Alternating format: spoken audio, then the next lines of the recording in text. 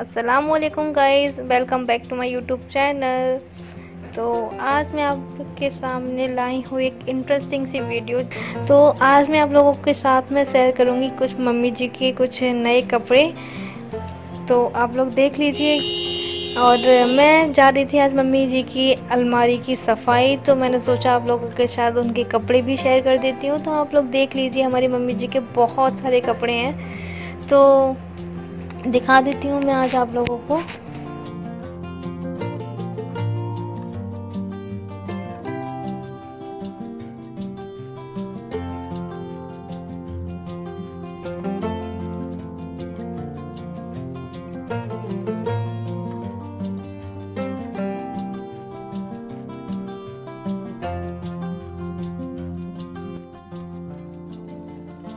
तो मैंने सोचा था कि साथ ही साथ अलमारी की सफ़ाई भी हो जाएगी, जो सारे कपड़े बिथुल गए हैं, यानी कि सारे कपड़े इधर से उधर हो गए हैं। तो इसलिए मैंने सोचा कि इसकी सफ़ाई भी हो जाएगी। तो मैं यहाँ पे सारे कपड़े निकाल रही हूँ, क्योंकि ये सब गुड़ी मुड़ी होकर रखे हुए हैं।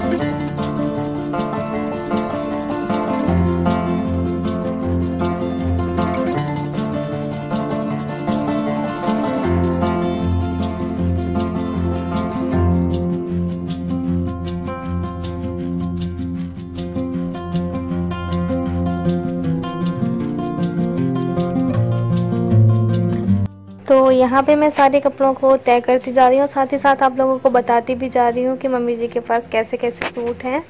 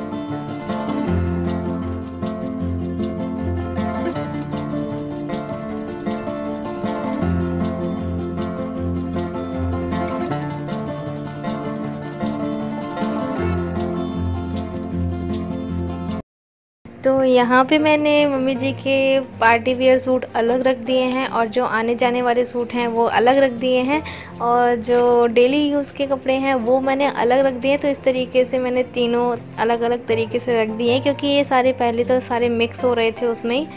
इसलिए मैंने इन सभी को अलग अलग करके रख दिया है। जिससे मम्मी को ढूँढने में परेशानी नहीं होगी, पहले मम्मी को ढूँढने में परेशानी होती थी क्योंकि सारे कपड़े मिक्स थे सारे। तो अब मैंने अलग अलग करके रख दिए तो उनको ढूँढने में ज़्यादा दिक्कत नहीं आएगी।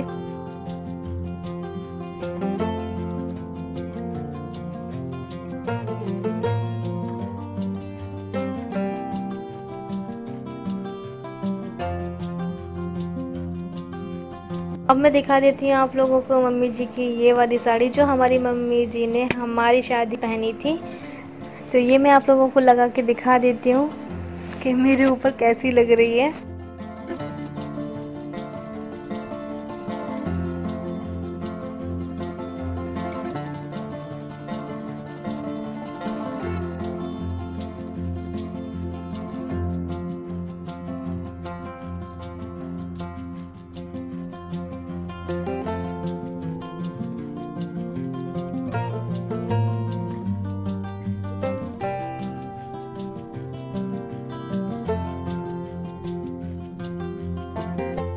यहाँ पे मैं आप लोगों को दिखा देती हूँ मम्मी जी की ये वाली साड़ी जो कि पापा जी ने मम्मी जी को गिफ्ट की थी। तो ये जो मम्मी जी साड़ी लगा कर देख रही हैं, बहुत ही खूबसूरत लगती है मम्मी जी के ऊपर ये साड़ी, जिसमें गोल्डन लेस लगी हुई है और बीच में भी गोल्डन कलर का वर्क किया हुआ है। तो इस साड़ी को मम्मी जी लगा कर दिखा रही थी तो बहुत ही ज़्यादा अच्छी लग रही थी और ये हमारे रिसेप्शन में पहनी थी हमारी मम्मी जी ने।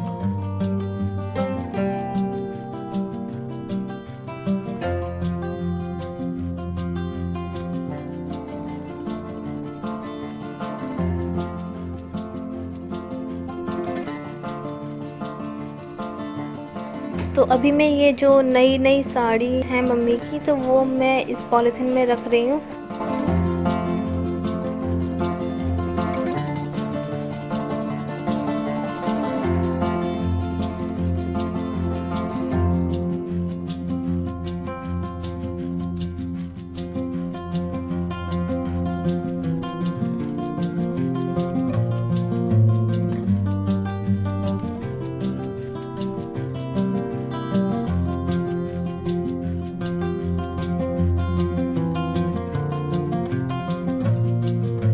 जो नई साड़ियाँ हैं मम्मी जी की, उन साड़ियों को मैंने रख दिया है पॉलीथीन में जैसे कि आप लोग देख ही रहे हैं यहाँ पे रखी हुई है। और ये सारे सूट रखे हुए हैं, जो आने जाने में पहनने वाले सूट हैं ये।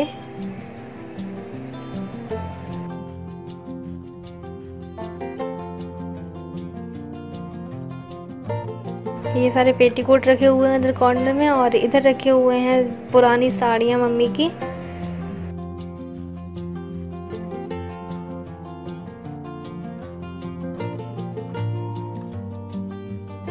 तो यहाँ पे मैंने रख दिए इन पॉलीथिन में सबसे नीचे वाले सेक्शन में। तो यहाँ पे मैंने मम्मी जी के कुछ गरम स्वेटर या कुछ गरम कपड़े हैं मम्मी जी के, वो मैंने इन पॉलीथिन में सेट करके रख दिए हैं।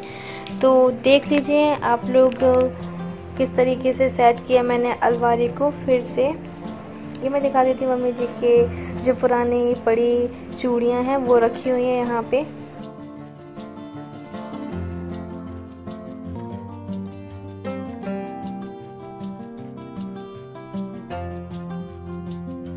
तो अब आते हैं मम्मी की मोस्ट इम्पोर्टेंट साड़ी के साड़ी पे। तो ये है हमारी मम्मी जी की शादी की साड़ी, जो उन्हें चढ़ावे में चढ़ाई गई थी। मम्मी के ससुराल वालों के साइड से ये साड़ी दी गई थी। तो इस साड़ी में ही मम्मी का निकाह हुआ था और मम्मी हमारे घर की बहू बन गई थी। तो ये साड़ी जो मैं दिखा रही हूँ आप लोगों को बहुत ही ब्यूटीफुल लग रही है और मुझे तो ज़्यादा ही अच्छी लग रही है, क्योंकि देखो शादी की जो साड़ियाँ होती हैं या सूट होते हैं, जो शादी का जोड़ा होता है ना, वो तो बहुत ही ज़्यादा औसम होता है। और मम्मी इतने सालों से उसको इतने अच्छे से रखी हुई हैं, संभाल के।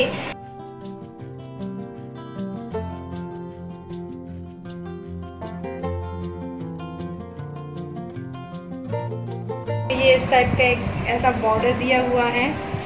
ये नीचे का बॉर्डर है। देख ही सकते हैं। ये बहुत ही खूबसूरत लग रहा है। ये एकदम चौड़ा सा बॉर्डर है और हल्की सी शाइनिंग है। इतना गोल्डन कलर का वर्क है।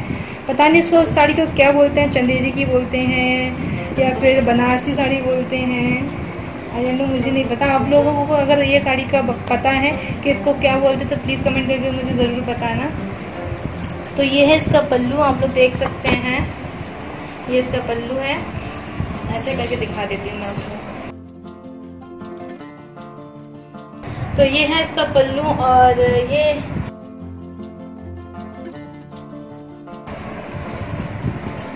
और दिखने में बहुत ही खूबसूरत और शादी की जोड़े की तो बात ही अलग होती है और मम्मी अभी तक इसको इतना संभाल के रखी है। ये मुझे बहुत अच्छी बात लगी मम्मी की। और शादी के जोड़े को संभाल के तो रखना ही चाहिए, क्योंकि फिर आगे आने वाली जो अपनी पीढ़ी है, उसको अपन दिखाएँगे तो अच्छा लगेगा। वो सोचेंगे कि देखो, अभी तक संभाल के रखी हुई है ये साड़ी को ऐसे ही मेरी मम्मी की भी साड़ी ऐसे ही संभाल के रखी हुई है, उनकी भी शादी की साड़ियाँ हैं कुछ तो वो भी इस तरीके से ही संभाल के रखी हुई हैं। और अच्छा भी लगता है, कोई पुरानी चीज़ें होती हैं, अपने पास संभाल के रखी जाती हैं जो चीज़ें। तो मुझे बहुत अच्छी लगती है पुरानी चीज़ें। तो प्लीज़ आप लोग कमेंट करके ज़रूर बताना कि किन किन के पास आप सभी लोगों की मम्मियों की शादी की साड़ियाँ रखी हुई हैं तो वो भी हमें कमेंट करके ज़रूर बताना और किस टाइप की साड़ियाँ हैं उन लोगों, उनकी। और इस साड़ी को कहते क्या है, वो भी ज़रूर मुझे बताना, क्योंकि मुझे नहीं पता है कि इस साड़ी को क्या कहते हैं। तो बस इसी के साथ मैं अपनी वीडियो का एंड यही करती हूँ। मिलती हूँ अपने नेक्स्ट वीडियो के साथ में तब तक के लिए खुदा हाफिज़ bye bye and take care